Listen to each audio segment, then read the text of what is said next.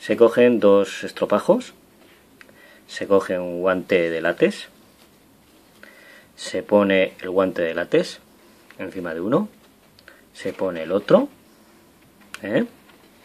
se mete en un vaso, se mete en el vaso, según como tengas el pene, pues más o menos un vaso grande, pequeño, no sé. Y ahora se dobla hacia el vaso y tenemos un coñito que te ahorra 70 pavos de ir al sexo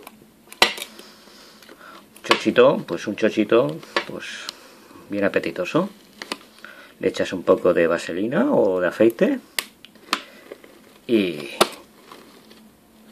a follar enséñaselo al doctor creo que será interesante que lo paséis bien este fin de semana, chicos. Chao.